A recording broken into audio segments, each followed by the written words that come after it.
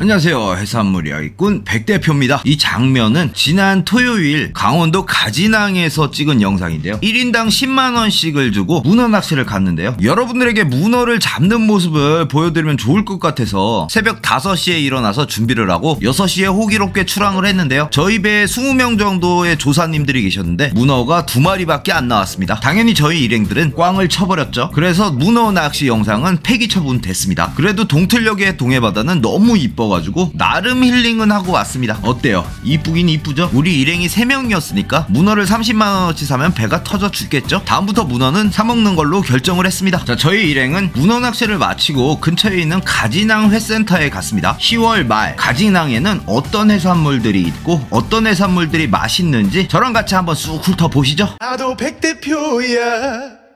첫 번째 집의 첫 번째로 보이는 것은 전복소라 전복 골뱅이라고 부르는 관절 매물고동이 보이네요. 그 옆쪽으로는 강원도의 대표 생선인 가자미류들이 보입니다. 앞에 보이는 것들은 돌가자미와 문치가자미네요. 동해에는 여러 가지 가자미류들이 있는데요. 지금 한창 가자미가 제철이죠. 그 중에서 돌가자미를 잠깐 보겠습니다. 이 돌가자미는 동해의 일부 지역과 서해 쪽에서는 이시갈이라고 부르는데요. 가자미 중에서 제일 고급 어종에 속하는 이 줄가자미도 이시갈이라고 많이 부른단 말이죠. 여러분도 이 줄가자미가 이시갈이고 고급 어종이라는 거는 알고 계실 겁니다. 근데 상인이 이 녀석 보고 이시갈이 이시갈이 그러니까 그 비싼 생선인 줄 알고 사시는 분들이 꽤 계세요. 근데 상인분도 잘못한 게 없는 게 그 지역에서는 이 녀석을 예전부터 이시갈이라고 했으니까 상인분들도 잘못은 없다고 생각해요. 그러니까 우리 스스로 공부를 좀 해야 된다는 거죠. 돌가자미도 가자미 중에 고급 생선이긴 하지만 줄가자미보다는 못하잖아요. 매우 간단합니다. 돌가자미는 등 왼쪽에 이렇게 돌기가 있습니다. 요거 하나만 기억하세요. 그 옆쪽 통에는 돌돔과 강다음돔, 감성도미가 보입니다. 돌돔은 1kg가 채 안 되는 게 보였고요. 강다음돔은 너무 조그맸습니다. 그리고 그 위쪽에는 강도다리와 광어가 보이네요. 아 그리고 가진항에는 모두 자연산만 판매하고 있다는 거 기억하세요.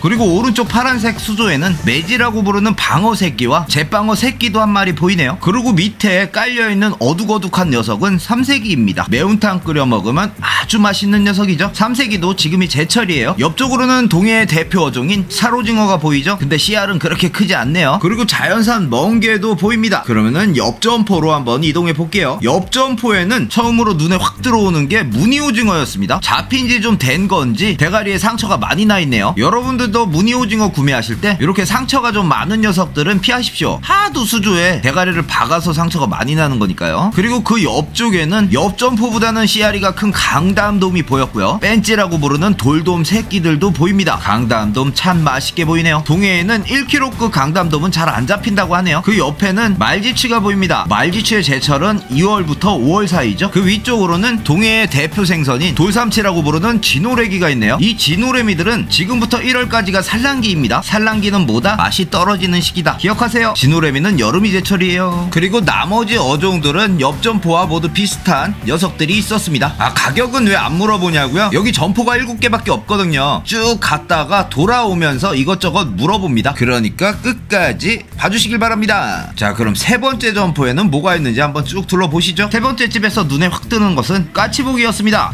복중의 최고로 치는 황복은 5월부터가 제철이지만 참복과 까치복은 늦가을부터 한겨울까지가 제철이니까요. 지금부터 동해에 가실 거라면 참복, 까치복 강추합니다. 이것도 무늬 오징어가 있는데 대갈통에 상처가 적죠? 다시 한번 말씀드립니다. 무늬 오징어는 대갈통에 상처가 없는 걸로. 자, 옆쪽 수조에는 감성돔과 돌돔 큰 녀석이 있네요. 아, 저 돌돔 큰 녀석은 진짜 탐나네요. 딱 봐도 키로가 넘어가니까 제 생각에 30만원은 부를 듯 해요. 다음 점포에 왔는데 거의 비슷한 어종을 가지고 있네요. 각 점포들마다 무늬 오징어들은 다 있었고요. 방어 새끼와 제방어 새끼는 모두 다 있었습니다. 이 집은 뭐 특별한 게 없어서 다음 집으로 바로 넘어가겠습니다.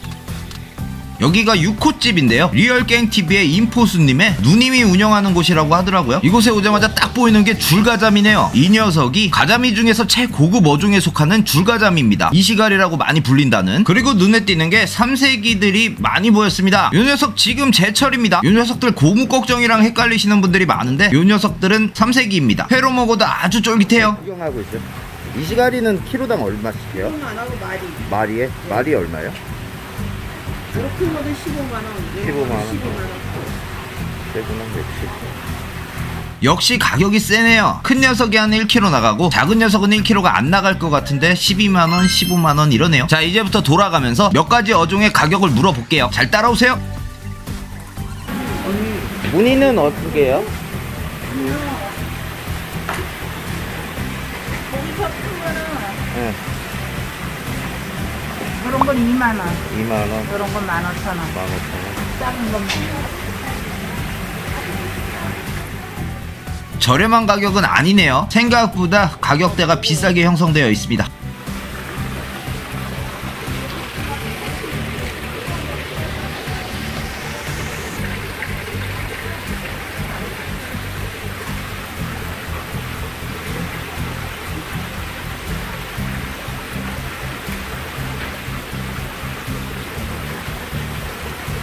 사장님, 이 강당돔은 어, 얼마씩 팔아요?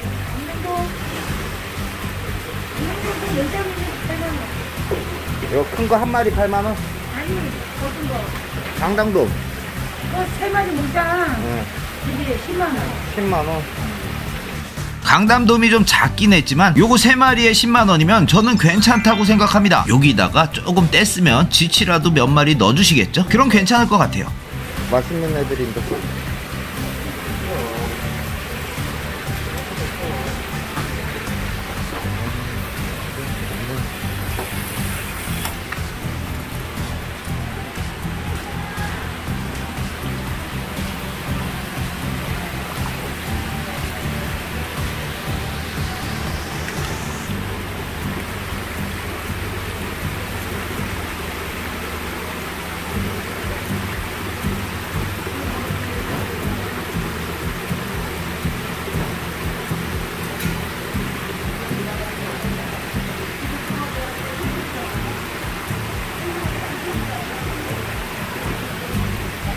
이쯤에서 돌돔 가격도 한번 물어봤습니다.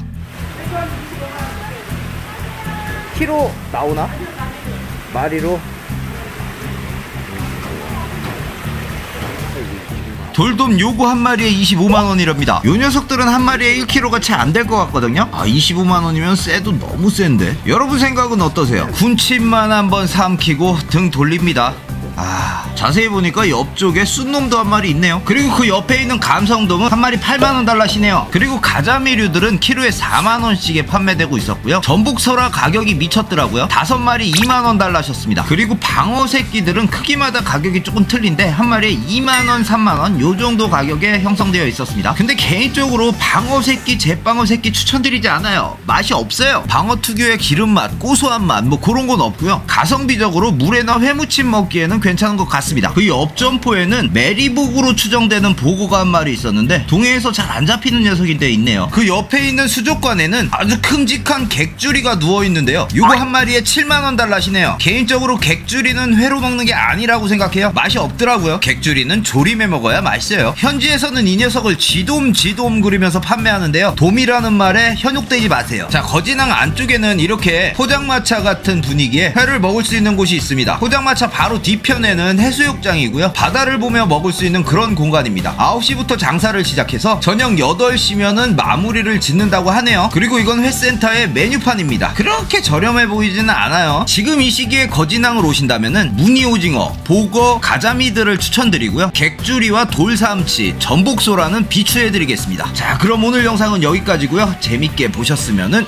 좋아요, 구독, 부탁드립니다. 아 그리고 내일부터는 제가 저번 주에 방문한 울릉도의 맛집 6군데와 회센터 2군데 리뷰 영상이 올라갈 거니까요. 많은 기대 부탁드립니다. 그럼 안녕.